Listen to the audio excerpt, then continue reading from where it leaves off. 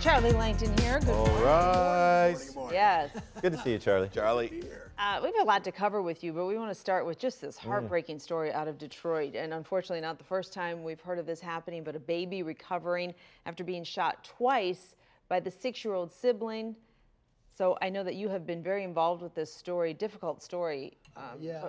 But- And talking to family members too. Yeah, I talked to the father who uh, his one-year-old child is now back to just, uh, just prob well maybe still in surgery right now. Apparently, the one-year-old was shot twice, one in the like the cheek, and the bullet, according to the father, is still stuck in the child's hmm. face, uh-huh. and they had to do a surgery to get that out. The child was also hit in the left shoulder, and I understand. However, despite those terrible sounding injuries, the child is in stable condition at this point. But but that's the condition of the one-year-old. Now, the six-year-old uh, is a cousin of uh, the of the one-year-old, Okay, and they so were not living there. siblings, cousin. Not a sibling. It was Okay. a cousin. It was a cousin, and Dad tells me that uh, he was out in the yard about 7:30, 7:45 la- yesterday night. He hears a shot, hears another shot, and goes in. He says that the gun, which was his, and he says it was properly registered, he says it was in a safe under his bed, and that the six year old found the gun, got it, and shot the cousin. Now, police are investigating. The dad is not in custody. Talked to me this morning. Um, obviously, very concerned. It's a terrible situation when kids are there. Was the gun properly locked up? Was it properly kept away from children? I understand there were some other sibling, other uh, younger kids in that house at the time. Um, that's what the police are going to be investigating. With the investigation, do could possible charges come? If so, what could those charges be for not having the gun, uh, well, secured or whatever the charges may be, Charlie? Well, it could. I mean, it could be a child neglect situation. If you have a loaded gun, I can see that as a possible charge. Haven't we seen that in the past? Yeah, though, Kym where- governor Worthy just has signed- been they- aggressive in prosecuting Yeah. these cases, yeah. right? Well, they just signed a new law where mandates a gun owner to have the gun locked up if you have minor children in your house. Now, I don't know. I was trying to find out when that law took effect. I don't think it's in effect at the moment, but it's been signed by the governor. So it is a law. Now, how eh, likely if they want to bring, and I'm not saying they're going to bring charges. I mean, the dad had a safe. It was under the bed, not in, if assuming all that's true, not in plain view of anybody. That might be enough to not bring charges. A- A six-year-old is a six-year-old. Can they get into things? Yes. It's a tough one. Yeah. It's a tough one. How was the dad's uh, mental state? Not good. Dad is an honest guy. He works. He feels terrible about Mm. this. Dad is a dad's a good guy, Mm. and he said, "I did. I thought I had the gun secure." Mm. And I, you know, again, it's it's one of these terrible situations. Is it preventable? Yeah, but you know, the issue is going to be if there. And I'm not saying there's going to be charges, but how far do you have to go to prevent a child from getting a gun? And maybe you do have to go more than maybe what this dad does. It's up to the. First of all, the police will investigate.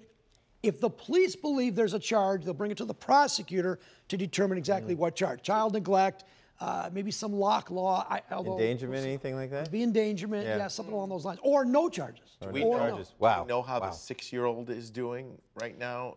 I asked. It was a cousin. The uh, the mother. They're they're they're separated, and uh, Dad told me too. He can't go to the hospital because to see his kid in in surgery because there's still an ongoing investigation. That's tough. Really That why. is tough. It's a very tough. Listen, Oh, this God. is a sad, sad. If, if this doesn't get the message out, if you have a gun, just lock it and keep it away from kids. I would say this is the, unfortunately, the situation to do it. These are all. It's Mm. just it's just a terrible situation. Very lucky that kid is still alive. Extremely lucky, and dad and dad feels it too. You you, Wow. you can just tell. Wow, you can just tell. A one-year-old. One year old. Boy, that's just uh, that's hard on everybody. Yeah. Um, okay, do we want to take a quick break? Yeah. Um, real quick, do it. You, let's just talk about what happened at Eastpointe yesterday.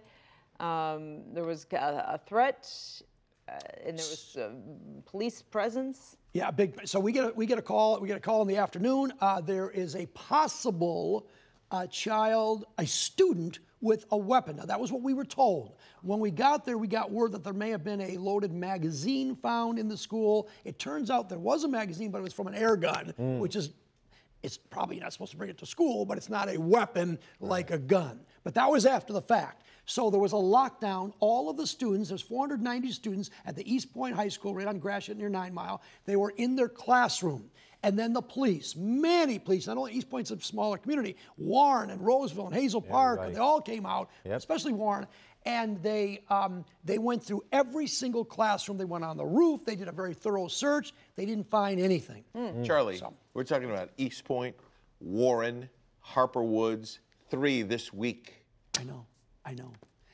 Don't bring, don't, and, and, and, and this started because of a social media threat. The cops were happened to be in the school for another incident. Turned, didn't turn out to be much. But then someone apparently called the school and said, I've got a, a an Instagram video of a kid in the bathroom with a gun. Wow. But it was from, so, now I So was that a Right. uh, was that a fraudulent threat or That's what the cops are looking at That's today. They're they're trying to trying find to out who made the call and who made the video. Yeah. Wow. So that's it's, Just that is crazy, not man. done yet. Just crazy. Don't bring a gun to school. Don't make a threat. Um, and look at, at that, that whole day. And a lot of the parents now are really they're afraid for their kids. Yeah. School's almost done. Yeah. It's only a week left. Keep them home, right? That's what somebody, some parents Saw probably will do that. Saw that, Yeah. that interview that you did. I know. Yeah. Yeah, I know. Wow. All right, let's take a quick break and when we come back we want to talk to you about using the cell phone while you're driving. Oh. Ah, yes. Oh, Ah, no. Yeah. All right. Uh, Governor Gretchen Whitmer signing a new distracted driving bill into law, meaning you can no longer, when this kicks in, which will be soon, but you can no longer drive like this. Can't do it. Hello, how you doing? How Nope, you doing? None of that. Uh, but of course, and some serious, uh, really serious consequences that we've seen with people texting and driving and other distracted things. And so this puts an end to it, maybe. What did I see? The, I think the uh, state cops put out there were 2,700 crashes and 21 deaths in 2021.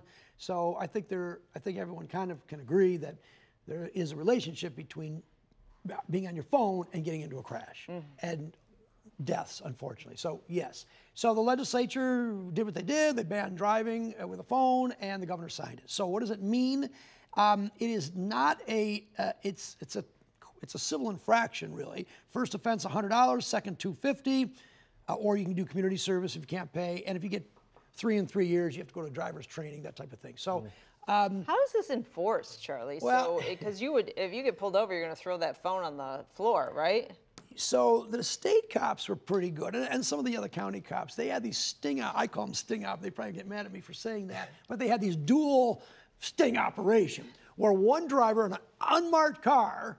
There'd be a driver and a cop in the passenger seat looking for people on the phone mm. or people putting on their makeup or any other form of distracted Right. driving. And then the cop would radio the marked cop car to pull the bad driver over. And they do that every so often. They just did it not too long ago. In fact, we did a ride along about a year ago. Camera equipped cars?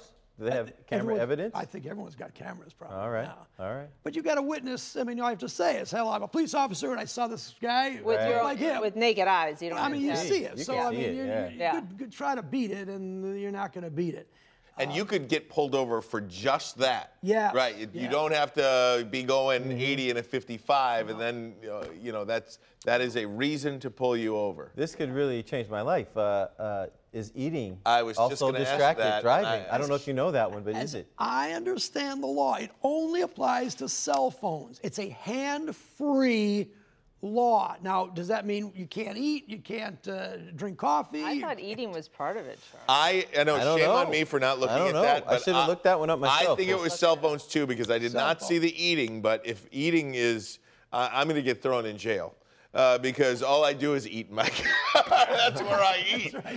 you, Well, know, you can pull in over and eat. jobs. And I know that you're in a stuff. rush. I mean, get I'm it. in a I rush, know. you I'm it's- rushing to a movie. Yeah, I gotta right. eat. Right? gotta eat. Gotta eat, man. Yeah. I think, I think uh, there's also a catch-all called careless driving, Uh-huh. Which is, I believe, is a civil infraction three-point ticket. So it's expensive. But if you are eating and you're, you know, if you swerve a little bit, I would think you're going to be pulled. I really don't mean to make light of that Right. because this Yeah. again we, we mentioned this Yes. in the nine o'clock hour. I mean, 21 deaths that were 100% preventable. Right. You know, 100% preventable. Right. So And, um, and the other thing is, it does not take that long to just pull over and take six minutes. So to here eat. is this You're is right. According can to do right. We can do it. Michigan.gov. Yeah, yeah. Uh, there are three main types of distraction: visual, taking your eyes off the road, manual, taking your hands off the wheel, or cognitive, taking your mind off the drive.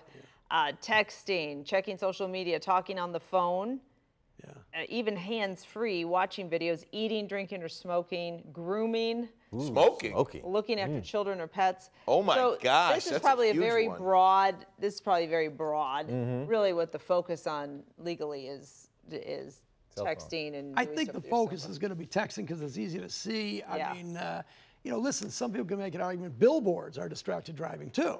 I mean, the purpose of a billboard is to get your attention That's while you're driving. Right. Or some warning signs or some uh, Wow. exercise. So I don't want to make any defenses here that are, you know, but, but, and, and maybe they'll ban billboards. I don't know. Maybe that's next. I'm not sure. If you're But- talking about smoking, there's going to be a lot of upset people. They can't be ripping them darts, uh, you know, ashing out the window. But we can't. Oh, make, we can't man. make law. Oh, don't get me started on that. I don't think it's challengeable too much. I think it's going Right. to be the law. And I think if you get a ticket, you're going to have to pay. You gotta pay it. Uh, let it rip tonight, Charlie. Uh, who will succeed Mike Duggan as mayor of Oh. Detroit? Any thoughts on that? We'll be discussing that. There's some rumors that he may not seek another term. Wow. He may want to run for another office. Oh my. We'll talk about that coming up. And then, would there be an alternative to a Biden-Trump rematch? An alternative? Of different people. Do we want to see different people? Is it time for new blood? I don't think. Uh, I think that's a yes. Right? I'm not stepping in that. I'll leave that to you. I'm not stepping Well, in maybe we'll just accent power. We don't need that. We don't even need that time up there. Yeah, get rid of that time. 330, 330 million people in the country. These are the that two we got. Let's get out of it. We, we, we'll figure out something else. It'll be a surprise All tonight. right. Very good. Very good.